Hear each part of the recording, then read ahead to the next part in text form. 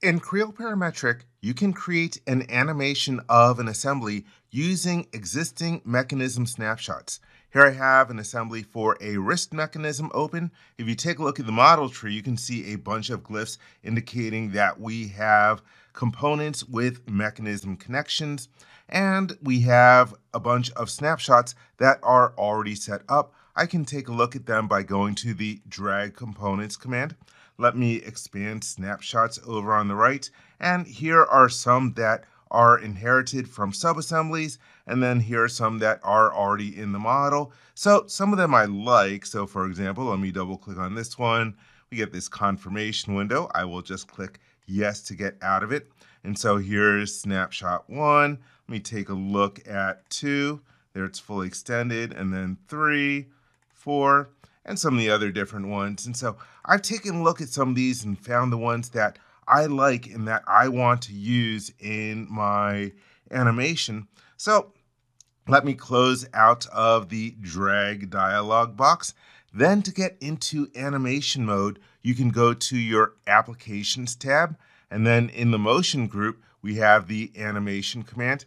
If you have just about any license of Creo Parametric, you should have the DAO, the design animation option, available to you for creating animations. In other videos, I've shown how to create new animations for explode states and importing from MDO and also from, oh, I haven't shown snapshots except for one for uh, creating a turntable animation. But anyhow, in this video, we're going to create one for a uh, using the snapshot. So I will click on that. And here we can give it a name and I will call it, I don't know, extend retract. And then click the OK button.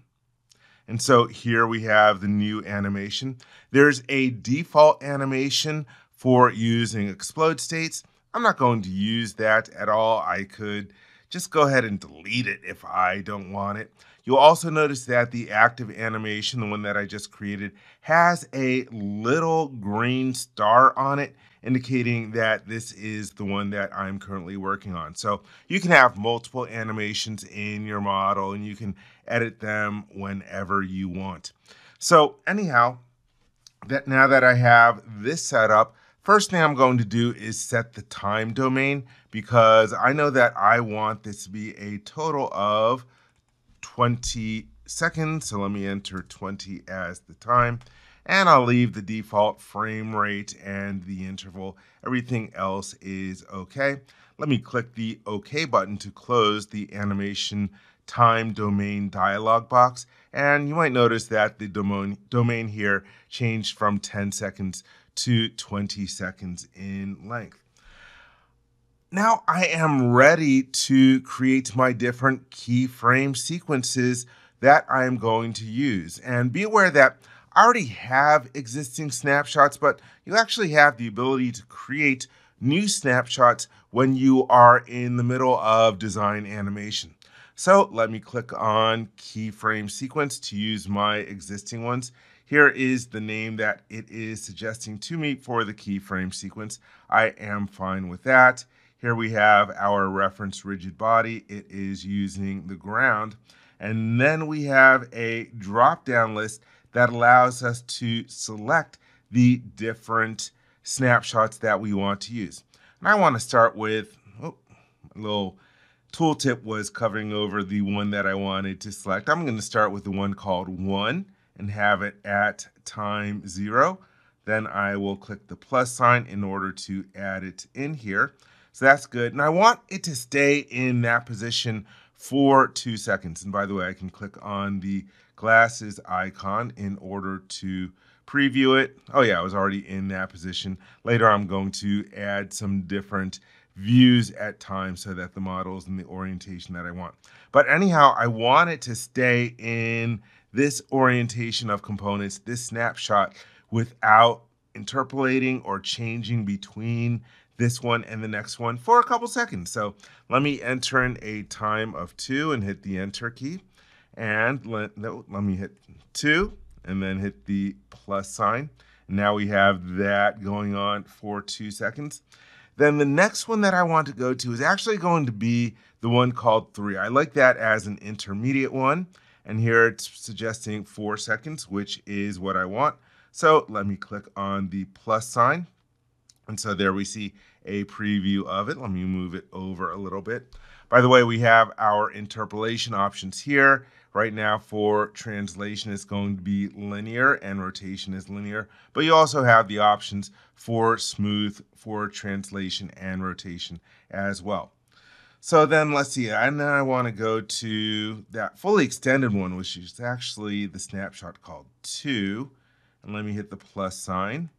And I want it to stay there for two seconds. So I'm going to hit the 8 and then hit the plus. So again, it'll just freeze in that position.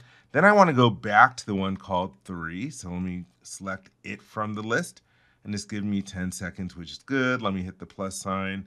Then I'm going to use some of the ones with a slightly different name. So let me go, actually no, let me go to the one called 4. Just checking my notes here.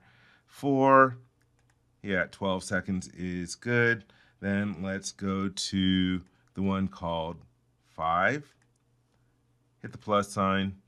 And then the one called 6. Just getting my tooltip out of the way. And then at the end, uh, I am going to go with back to the one called 1. So let me go to, oh, come on, tooltip, get out of the way and hit the plus sign. And let me type in 20 because I want it to freeze there in that position. And there I have all the different ones that I want to have. Okay, so this is good. Let me click on the OK button. And if you take a look here, we have the different the keyframe sequence with all of our different actions, our different snapshots that are going to be implemented at those different times. So that is good. And just to have it move around like you would with an animation, let's apply different views at different times. And so I created a saved view called animation one, and that's what I actually want at zero seconds. So let me click on the apply button. And I actually want it to stay this way for a while as it is going through the motions. And then I'm not going to have it kick in until about 12 seconds. I'm going to choose animation 4. And actually, I think I want that to kick in around, I don't know, 12 seconds.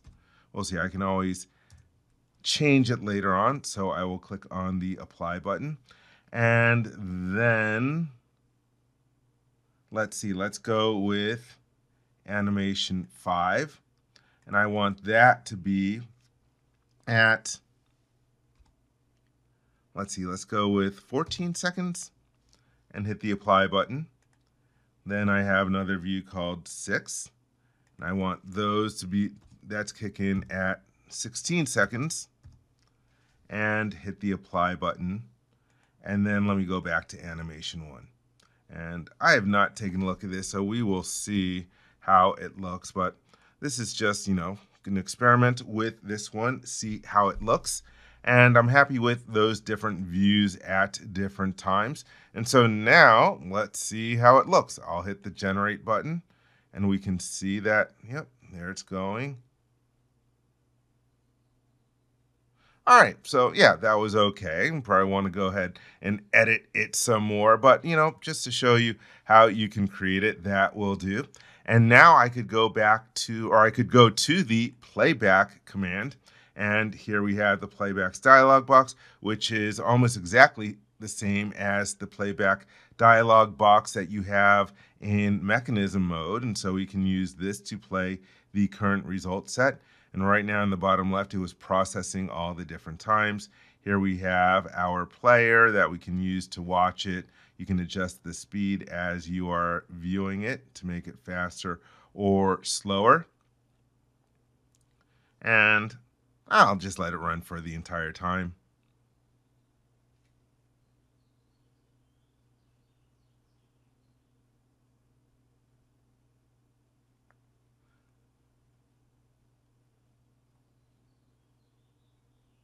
and it is looping. Let me hit the stop button. Sorry, I got distracted and just kept on watching the animation go. Uh, yes, I hit the stop button over uh, in the middle of that set of tools. And so then at this point, I could use the capture button if I wanted to create a movie of this and be aware that you also have the ability to render the movie if you want to create something that is going to look very good. And here we have the MPEG option. You can also go with AVI. And some of these other ones are for image files instead of generating a movie file. But let me cancel out of there. So there you have it. That's how you can use your different snapshots in order to create an animation that interpolates from one snapshot to the next.